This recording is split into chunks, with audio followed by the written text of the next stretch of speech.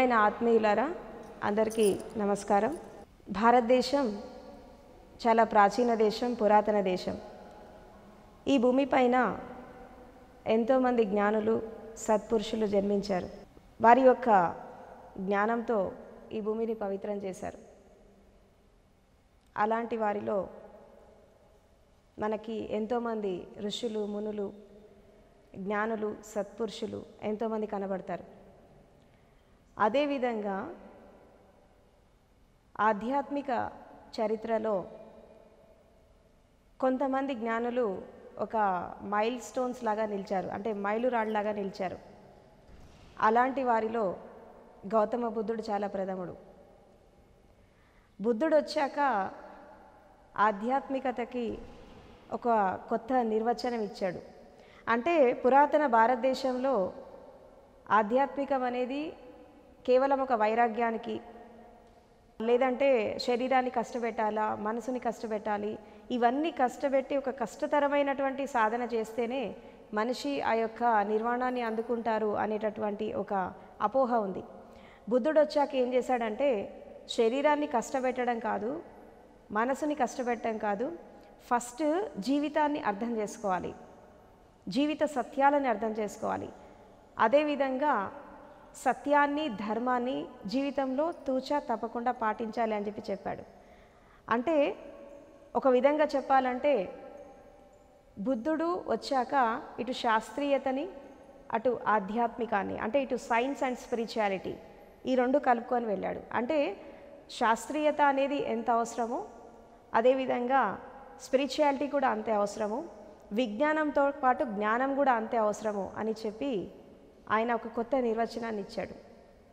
అందుకే ఆ కాలంలో ఎంతోమంది పండితులు ఎంతోమంది బ్రాహ్మణులు క్షత్రియులు రకరకాల వర్గాలకి చెందిన వాళ్ళు బుద్ధుడి పరంపరలో వచ్చి వాళ్ళు కేవలం విజ్ఞానాన్ని సంపాదించడమే కాకుండా జ్ఞానాన్ని కూడా పొందారు. అలా పొందడం ద్వారా మనకి ఈ దమ్మపద అనేటటువంటి గ్రంథం వచ్చింది. దమ్మపద అంటే ఏంటంటే ధర్మ మార్గం పాలీ భాషలో దమ్మాని ధర్మ అంటారు. పదం అంటే మార్గం ధర్మ మార్గం. బుద్ధుడి యొక్క మార్గం ఏంటి? చాలా సింపుల్గా చెప్పాడు. ఒకటి శీలం రెండవది సమాధి మూడవది ప్రజ్ఞ. శీలం అంటే ఏంటి? Character building. ఒక మనిషి ప్రాపంచికంగా ఎదగాలన్నా అదేవిధంగా ఆధ్యాత్మికంగా ఎదగాలన్నా క్యారెక్టర్ అనేది చాలా ఇంపార్టెంట్ అని చెప్పి బుద్ధుడు చెప్తాడు. అంటే జనరల్గా క్యారెక్టర్ లేని వాళ్ళని శీలం లేని వాళ్ళని ప్రపంచంలో ఎవరు దగ్గరికి రానివ్వరు. అదేవిధంగా ఒక డిసిప్లిన్ లైఫ్ ఎవరికైతే ఉండదో వాళ్ళు కూడా దగ్గరికి రాలేరు. సో కాబట్టి ఈ క్రమబద్ధమైనటువంటి జీవితం ఈ జీవన శైలి జీవిత విధానం ఎవరైతే అర్థం చేసుకొని జీవిస్తారో వాళ్ళు మాత్రమే ఎదుగుతారని చెప్పి చెప్తాడు. దానికి ఆయన ఏం చెప్తారంటే పంచశీలాలను పాటించాలి. మొట్టమొదటి ఏంటంటే అహింస. అంటే మనస వాచ కర్మణ ఏ జీవిని హింసించద్దు. హింస అనేది మొదట ఒక వ్యక్తి నుంచే మొదలవుతుంది. అంటే ఫస్ట్ ఆఫ్ ఆల్ ఎదుటి వాళ్ళని హింసించే దానికంటే ముందు ఫస్ట్ స్వయాన్ని హింసించుకుంటాడు మనిషి. అంటే ఎట్లా అంటే ఇప్పుడు ఫర్ ఎగ్జాంపుల్ అరిషడ్ వర్గాలు ఉన్నాయి కామ క్రోధ లోభమోహ ఈర్షా ద్వేషాలు ఉన్నాయి. ఈ ఈర్షా ద్వేషాలతో ఎప్పుడైతే మనం ముందుకు వెళ్ళినప్పుడు ఈ ఫైవ్ సిక్స్ ఎలిమెంట్స్తో ఎవరైతే జీవిస్తారో వీళ్ళు సహజంగానే ఒక నిప్పు కణాన్ని చేతిలో పట్టుకొని వెళ్ళినట్టు. అది వేరే వాళ్ళ మీద విసరాలి అని చెప్పి వెళ్తారు కానీ మొదట వాళ్ళ చేయి అయితే కాలుతుంది. అండ్ అదేవిధంగా ఈ హింసని ప్రేరేపించేటటువంటి మనుషులు ఎంతో పగని ప్రతీకారాన్ని ద్వేషాన్ని వాళ్ళలో వాళ్ళు రగిలిపోతేనే ఒక అగ్నిపర్వతంలాగా రగిలిపోతేనే ఆ అగ్నిని వేరే వాళ్ళ మీద పడేస్తారు. కాబట్టి అందుకే బుద్ధుడు ఏం చెప్తాడంటే ద్వేషాన్ని ద్వేషంతో కాదు ప్రేమతో జయించాలని అంటాడు. దాంట్లో జయించాలంటే అహింస. అందుకే మన భారతదేశంలో అహింస పరమో ధర్మ అంటారు. అన్ని ధర్మాల కంటే కూడా అహింస చాలా ప్రధానమైనటువంటి ధర్మం. అహింసని ఎవరైతే పాటిస్తారో వాళ్ళు సహజంగానే వాళ్ళ శీలం అనేది పర్ఫెక్ట్గా అవుతుంది. అందుకే బుద్ధుడు పంచశీలాల్లో ఈ అహింసని ఫస్ట్ పెట్టాడు. దాని తర్వాత అబద్ధం ఆడద్దు దొంగతనం చేయొద్దు తర్వాత వ్యభిచారం చేయొద్దు. అంటే ఒక విధంగా చెప్పాలంటే బ్రహ్మచర్యాన్ని పాటించాలా? ఇక లాస్ట్ది ఏంటంటే మత్తు పదార్థాలకి దూరంగా ఉండాలి.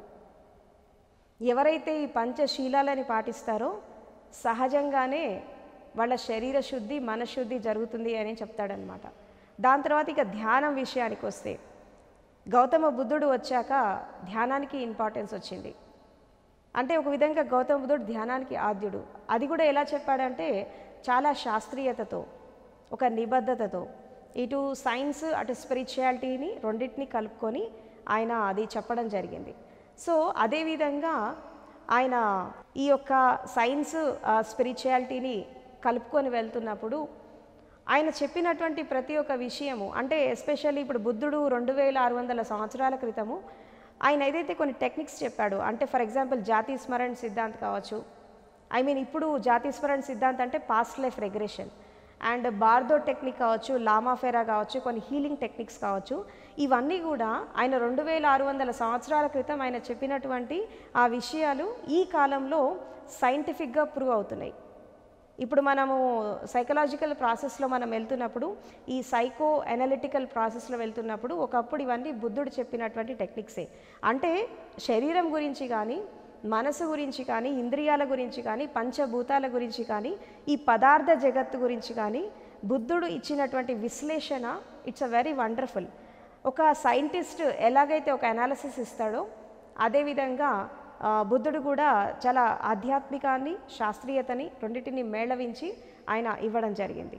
సో అందుకే ఏమంటారంటే బుద్ధుడిని ధర్మం యొక్క వైజ్ఞానికుడు అని అంటారు స్పిరిచువల్ సైంటిస్ట్ అంటారు. బుద్ధుడి కాలంలో ఎంతోమంది అన్ని వర్గాల నుంచి తర్వాత అన్ని కులాల నుంచి అన్ని మతాల నుంచి ఎలాంటి తారతమ్యం లేకుండా చాలా సమత్వంతో సమతతో ఒక స్వేచ్ఛతో జీవించి బుద్ధుడి దగ్గరకు వచ్చి ధర్మ మార్గంలో ప్రవహించి వాళ్ళు జ్ఞానాన్ని పొందడం జరిగింది. అయితే ఎప్పుడైతే మనము ఈ క్యారెక్టర్ బిల్డింగ్ అయితే చేసుకుంటామో సహజంగానే శరీర శుద్ధి మనశుద్ధి జరిగినప్పుడు ధ్యానం అనేది చాలా సహజంగా సరళంగా వస్తుంది. Then what is meditation meditation అంటే ఏంటంటే living in the present moment. ఇక్కడ ఈ క్షణంలో జీవించడం వర్తమానంలో జీవించడం క్షణక్షణం జీవించడం. అంటే ఒక విధంగా చెప్పాలంటే నిర్విచార స్థితిలో నో మైండ్ స్టేట్లో ఉండడం.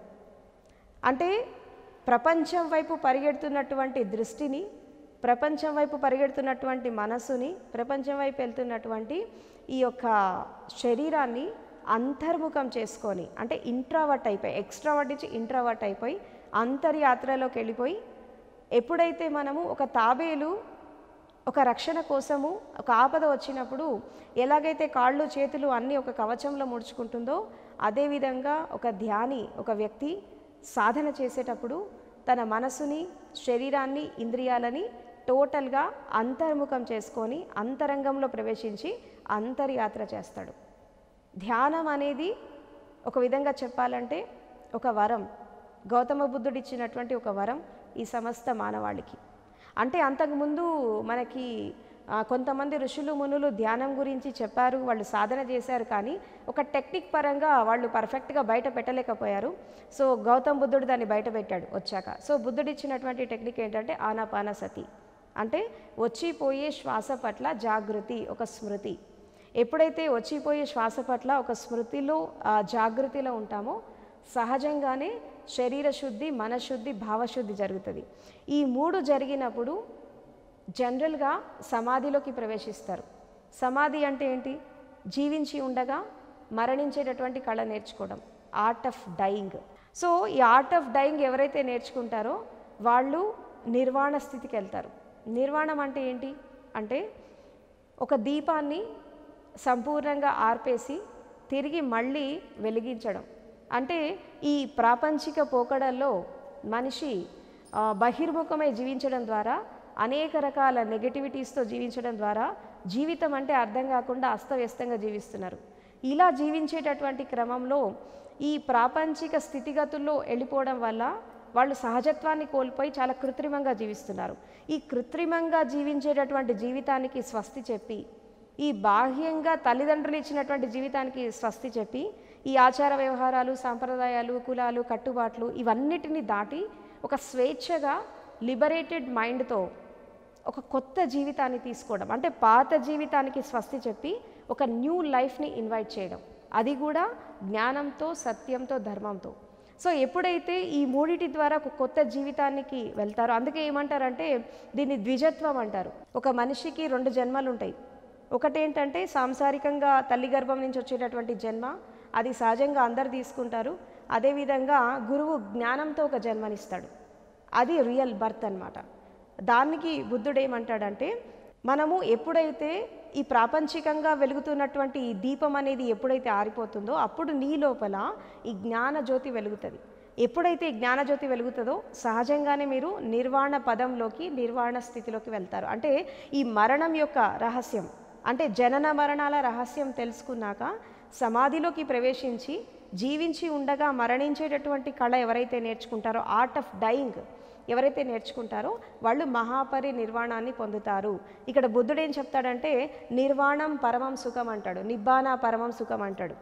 అంటే ఎవరైతే నిర్వాణ స్థితిని అందుకుంటారో వాళ్ళే పరమ ఆనందంలో పరమ సుఖాన్ని పొందుతారని చెప్పి చెప్తాడనమాట ఇలా తన మార్గాన్ని ఇస్తూ ఈ సమాధి గురించి ఎక్స్ప్లెయిన్ చేస్తూ శీలం ఏంటి సమాధి ఏంటి దాని తర్వాత ప్రజ్ఞ ఏంటి. ప్రజ్ఞ అంటే జ్ఞానం అనమాట అంటే అపదీపోభవ అంటాడు బుద్ధుడు. అంటే be a light unto yourself వేరే వాళ్ళ వెలుగులో నడిస్తే ఎంతకాలం నడుస్తావు? నీ దీపాన్ని నువ్వు వెలిగించుకోవాలి అని చెప్పి బుద్ధుడు చెప్తాడు.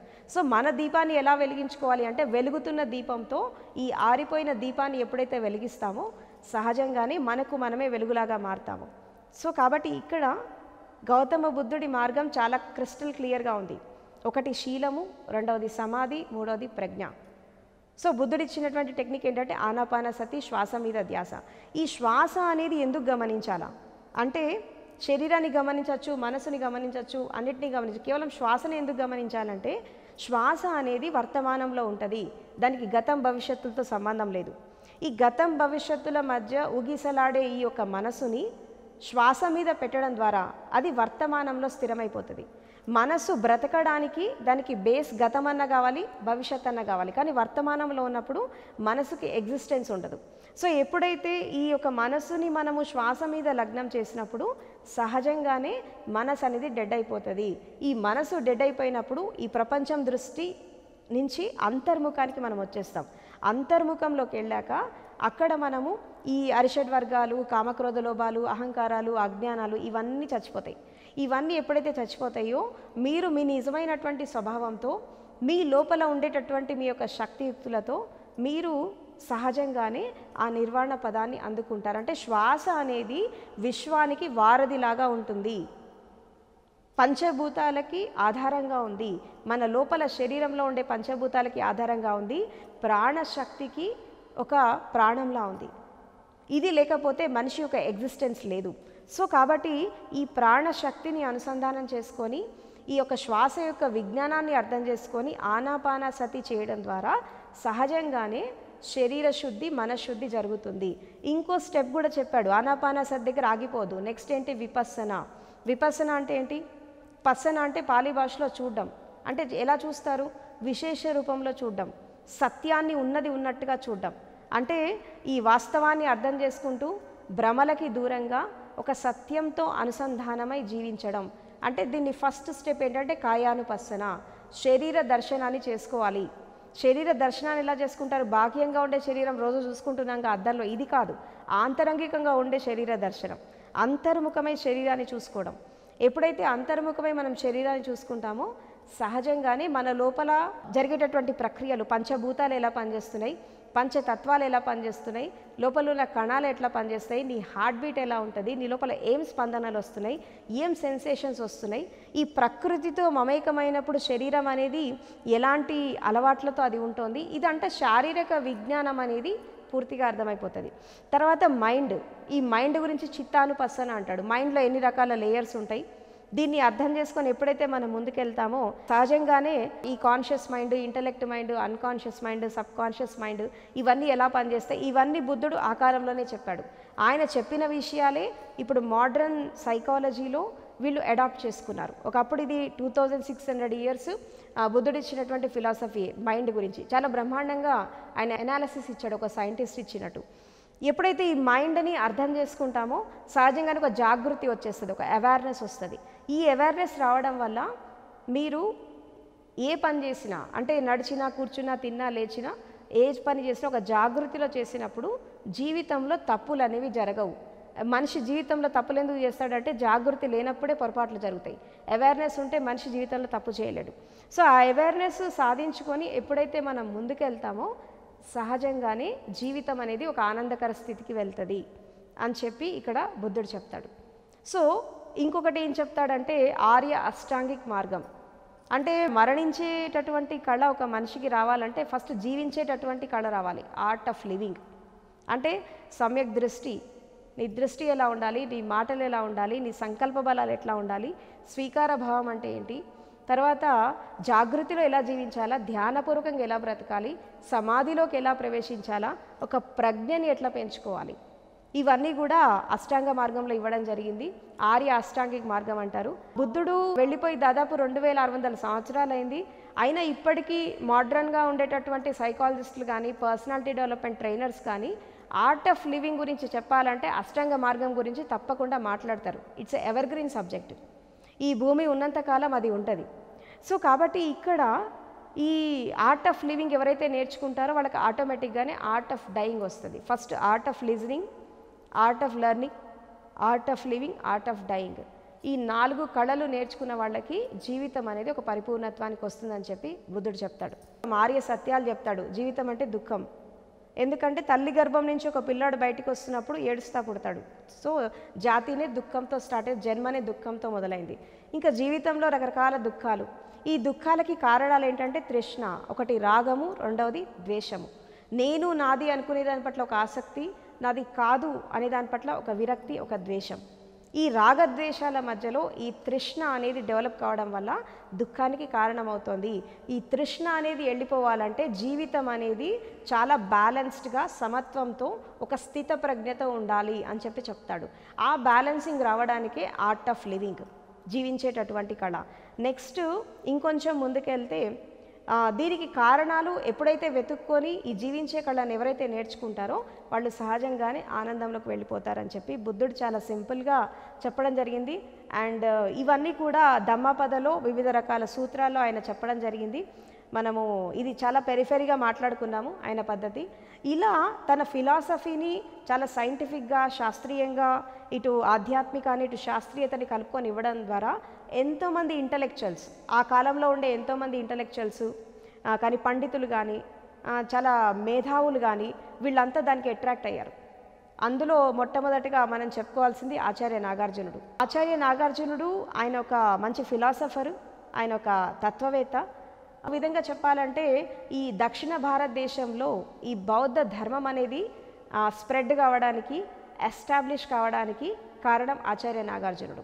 ఆయన దాదాపు ఒక ఆరు వందల సంవత్సరాలు జీవించాడు అని చెప్పి మనకి చరిత్ర చెప్తోంది ఆచార్య నాగార్జునుడు.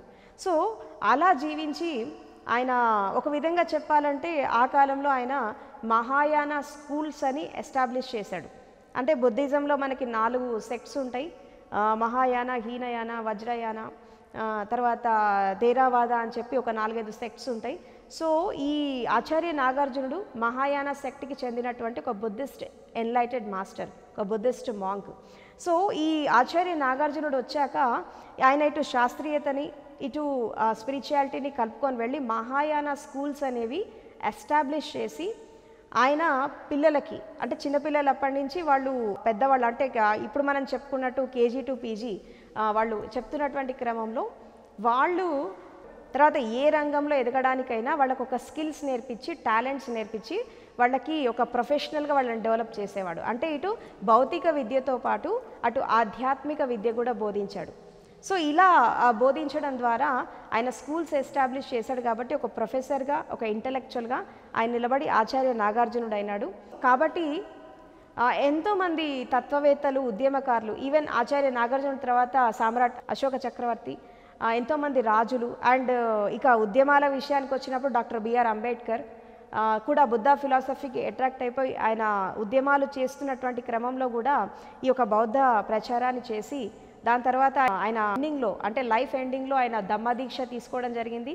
ఆయన పరివ్రాజ కూడా ఈ మాంక్ అవ్వడం జరిగింది. ఇలా ఎంతోమంది శాస్త్రవేత్తలు ఉద్యమకారులు విప్లవకారులు ఎంతోమంది బుద్ధుడి ఫిలాసఫీకి అట్రాక్ట్ అయిపోయి వాళ్ళు ఆ యొక్క నిర్వాణ పదాన్ని అందుకోవడం జరిగింది. సో బుద్ధుడు ఎవర్ గ్రీన్ అసలు బుద్ధ అనే పదానికి అర్థం ఏంటంటే జ్ఞానోదయానికి గుర్తు బుద్ధుడు.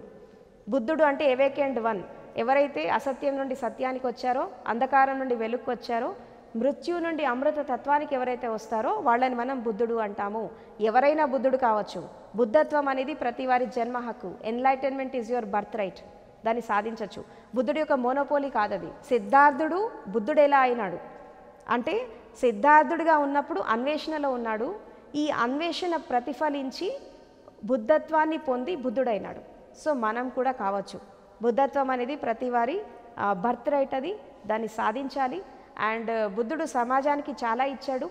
అండ్ ఆచార్య నాగార్జునుడు ఎంతోమంది బుద్ధిస్ట్ మాంగ్స్ వాళ్ళ కాంట్రిబ్యూషన్ చేశారు. ఆ గౌతమ బుద్ధుడు ఒక రోల్ మోడల్ లాగా నిలబడ్డాడు. దేనికి? ఇటు సైన్స్కి అటు స్పిరిచువాలిటీకి సంపూర్ణ జీవిత వికాసం అనేది జరగాలంటే తప్పకుండా ధర్మ మార్గంలో నడవాలి. జీవించేటటువంటి కళ నేర్చుకోవాలా? మరణించేటటువంటి కళ నేర్చుకోవాలి. సహజంగానే మనిషి మహాపరి నిర్వాణాన్ని పొందుతాడని చెప్పి బుద్ధుడు చెప్పడం జరిగింది. సో మిత్రులారా దీన్ని అర్థం చేసుకొని ముందుకెళ్ళండి. జీవితంలో మనిషి సత్యాన్వేషణ జ్ఞానాన్వేషణ చేయాలా? రొటీన్గా బ్రతకడం కాదు. ఒక సర్చ్ ఆఫ్ ట్రూత్లో ఉండాలి ఒక అన్వేషణ అర్థమైనటువంటి జీవితంలో ఉండాలి. ఎవరైతే సత్యాన్వేషణ జ్ఞానాన్వేషణ చేస్తారో వాళ్ళు సహజంగానే ఈ మార్గంలో ధర్మ మార్గంలో ప్రవేశిస్తారు. సో అలాంటి ధర్మ మార్గంలో ప్రవేశించడానికి ఒకప్పుడు ఆచార్య నాగార్జునుడు ఎలాగైతే ఆయన స్కూల్స్ అవి ఎస్టాబ్లిష్ చేసి ఆయన ఒక రెవల్యూషన్ తీసుకొచ్చాడో ఈ కాలంలో కూడా మల్టీవర్సిటీస్ డెవలప్ చేసి నేను కూడా అలాంటి రెవల్యూషన్ మళ్ళీ తీసుకురావాలనుకుంటున్నాను ఈ ఆధునిక యుగంలో ఆచార్య నాగార్జునుడి యొక్క ఇన్స్పిరేషన్తో. సో దీనికి సంబంధించి మనకి సిద్ధార్థ ఫౌండేషన్ అని ఒకటి ఎస్టాబ్లిష్ చేయడం జరిగింది. దాంట్లో భాగంగానే గవర్నమెంట్ కొన్ని ప్రాజెక్ట్స్ సబ్మిట్ చేసి ఈ మల్టీవర్సిటీస్ కూడా డెవలప్ చేయాలని ప్లాన్ చేస్తున్నాను. సో మీ అందరి సహకారంతో అది కూడా మనం ఫుల్ఫిల్ చేసేసి ఇటు ఆధ్యాత్మికాన్ని అటు ప్రాపంచికాన్ని ఇటు విజ్ఞానాన్ని అటు జ్ఞానాన్ని రెండింటిని మేళవించి మనం ముందుకెళ్తాము. అండ్ అవుటర్ వరల్డ్ ఒక మంచి మేధావిలాగా ఉండాలి ఇన్నర్ వరల్డ్లో బుద్ధలాగా ఉండాలి. అంటే ఒక విధంగా చెప్పాలంటే బయట ప్రపంచంలో ఒక పీక్స్కి వెళ్ళిపోవాలా. విజ్ఞానంలో అంతరంగంలో బుధత్వాన్ని పొందాలి. ఇదే ప్రతి మనిషి యొక్క డెస్టినేషన్. సో ఫ్రెండ్స్ నా మాటలు ఇంత శ్రద్ధగా ప్రేమగా విన్నారు. మీ అందరికీ కృతజ్ఞతలు. అంతిమంగా మీలో కొలువైనటువంటి ఆ యొక్క పరమ చైతన్యానికి నా ప్రణామములు. Thank you very much Thank.